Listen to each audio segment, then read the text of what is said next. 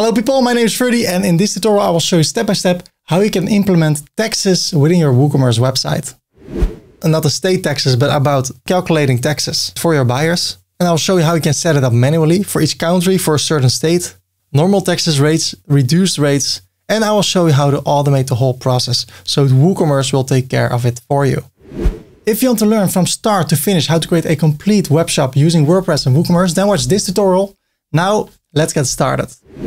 Okay, in order to configure text, we need to go to the backend. But before I do that, I go to this product over here.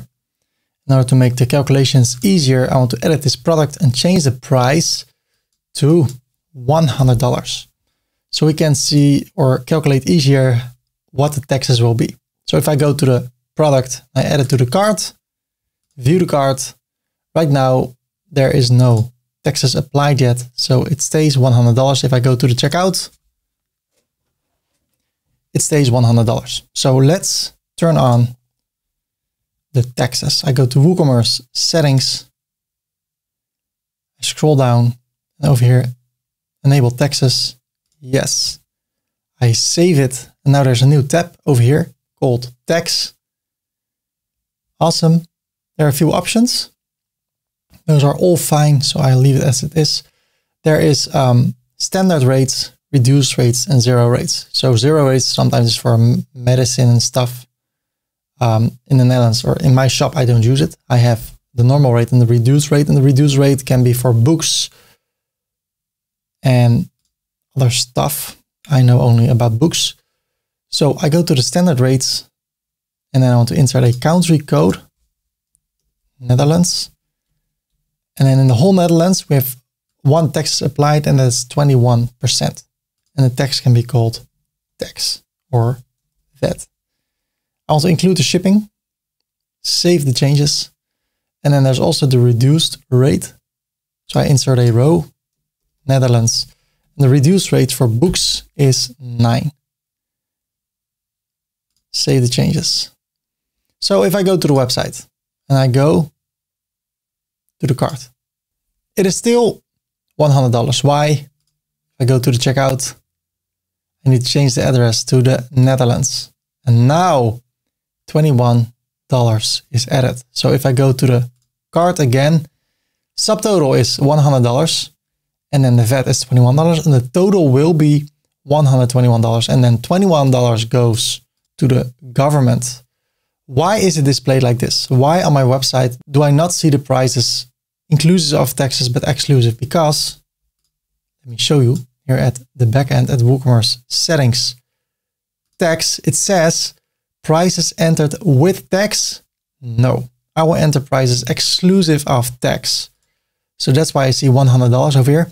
This is ideal if you're only selling to companies, because then people know at the end at the checkout, I need to pay extra money, but I will get that money back from the government because it's 20% of 21% of taxes. If you're selling to people without a company, then it's better to include taxes. So what will happen now? I save the changes. What will happen is that the price of the 60 minutes call will still stay the same. But now out of that $100, there's 21% of taxes. So people that buy this, they still pay $100, but my profit is $82.64.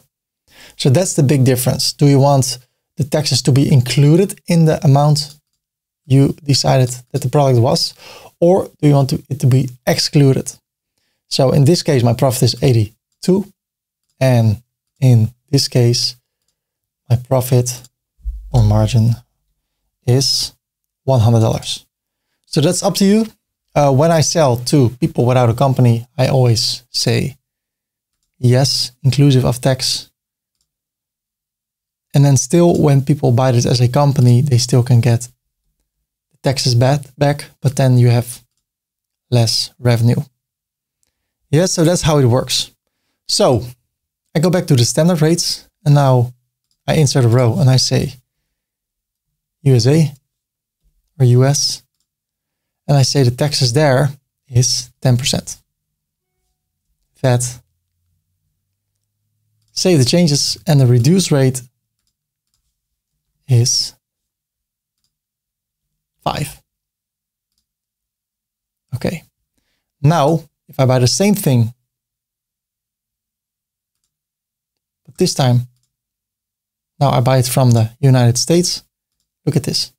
It's different. Why? Because the, the difference in taxes. So depending on where you come from or depending on where you're shipped to, so I would ship it to the Netherlands because that's where I live. People from the United States would ship it to the United States because that's where they live.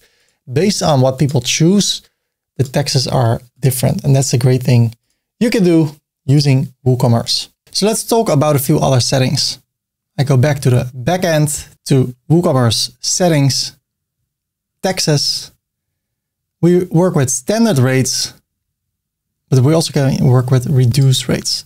So for instance, a normal physical hoodie, a Nike hoodie falls under the standard rate, but the reduced rates is for books, for instance. So that's 9% in the Netherlands and in the US, uh, I said it's 5%. I'm not sure, but uh, just to show you for the sake of the tutorial how this works, we can go to your products. And if there's a product that falls under the, the reduced rate, so for instance, books in the Netherlands are cheaper, have a, have a lower rate. So I go to my book. I know it's a, a digital book, but let's assume, let's pretend it's a physical book.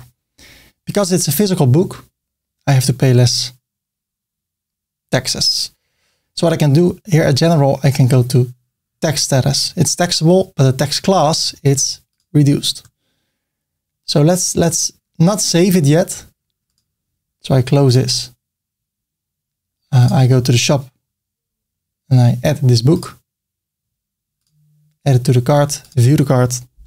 Right now the taxes is, let's see, in the United States. So let's go to the checkout and change it to the Netherlands go back to the cart.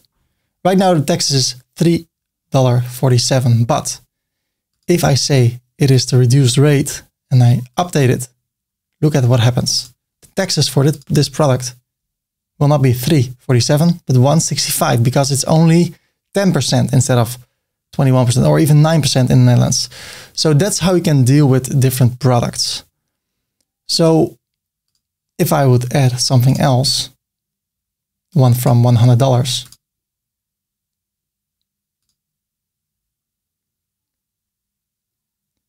Let's go to the checkout.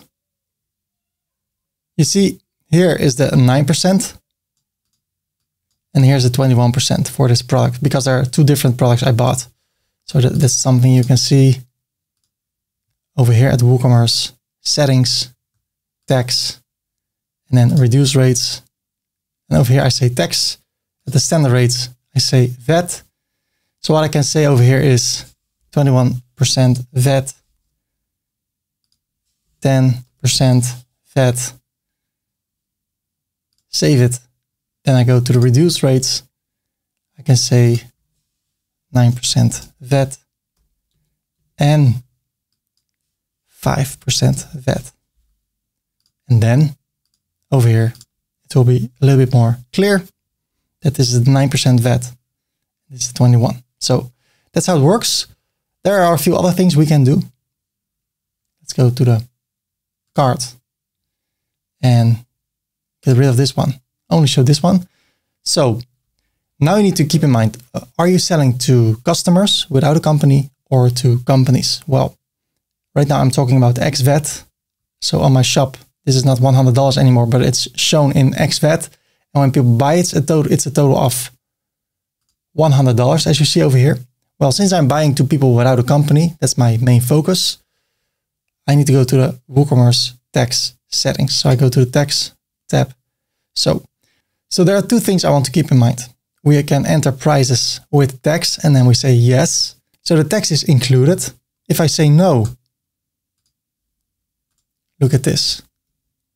It will say 100 and then this is 121, so it will be more expensive. If I say yes, it is cheaper. It's $100. That means that the tax is calculated in the product.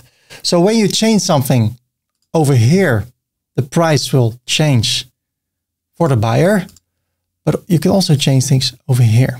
Display prices in the shop excluding of tax or including of tax. What I want is that the total is still $100 so that the, the tax is included in the total price of $100. So in that case, I need to say, yes, our enterprise is inclusive of tax.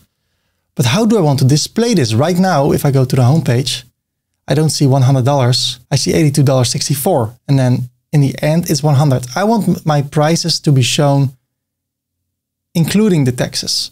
And that's what I can change over here. Whatever I change over here, that will not change the price.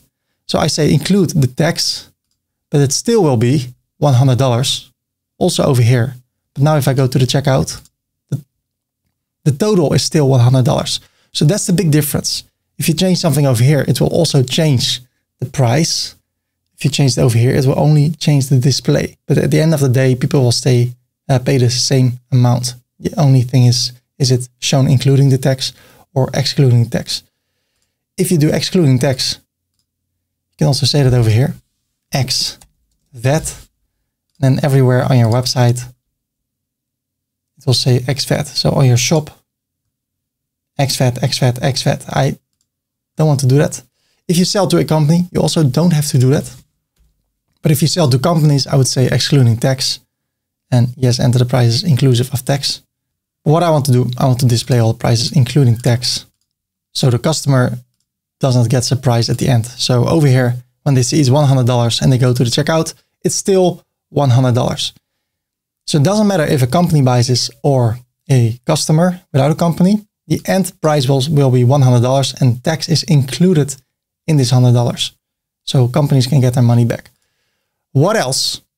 Calculate tax based on the customer shipping address or the customer billing address or the shop base address. Well, I would always say the customer shipping address because that is where the taxes will be calculated. If I send this to the Netherlands, there's a different tax that needs to be applied when I send it to the United States. So I use this one. Shipping tax classes is based on cart items. If you only have the standard rates, then you can say standard. But as I said, uh, you can sell books. And in that case, you can give each product a different tax class. So I would say shipping tax class based on the cart items. Rounding, really important, round tax at the sub subtotal level instead of per line. I can explain this to you if I would buy a lot of products. I go to the shop, Nike hoodie, add it to the cart. Let's do a few. Go to the shop, few shirts.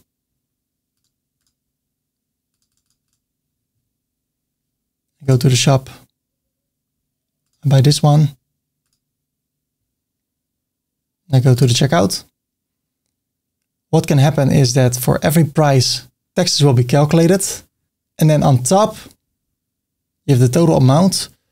But what I prefer is that this will all be uh, added on top of each other, then um, based on this price, the taxes will be calculated and not per line. If you do it per line, you can get some errors and, and miss some cents here and there. So I prefer to round the tax as a subtotal level. So based on this price, the taxes will be paid. We talked about this and this and this display tax totals itemized or as a single total? Do you want to show the tax after every price or only below the sub level? Well, since we're not working with taxes anymore, I cannot show that, but I would say itemized. So for every product you see what the taxes is. I like it that way. But what if you're selling to the whole United States and every state has their own rates? Well, then you can go to taxjar.com forward slash states. And now you can see everywhere what the taxes rate is. So you can fill that in, but let me show you a better way how to automate this for the United States. So you don't have to fill in everything manually. In order to automate the taxes for the United States, we can go to plugins, add new. And then I search for WooCommerce tax. And I can click over here. Shipping and tax can both be uh, automated. So that's what we're going to do. Activate. I need to install Jetpack and connect. It says the setup is complete. And now I can go to WooCommerce settings, tax, automate taxes. I can say enable automated taxes, save the changes, and now everything will be done for us, which is better in my opinion. Thank you for watching this video. I hope it was helpful for you. If you want to learn how to create a complete WordPress website from start to finish, then watch this tutorial. It will appear somewhere over here. And if you want to subscribe, it will also appear somewhere over here. You can do that for more upcoming WordPress, WooCommerce, affiliate marketing, and e-commerce, but the same as WooCommerce related tutorials. Okay, bye-bye.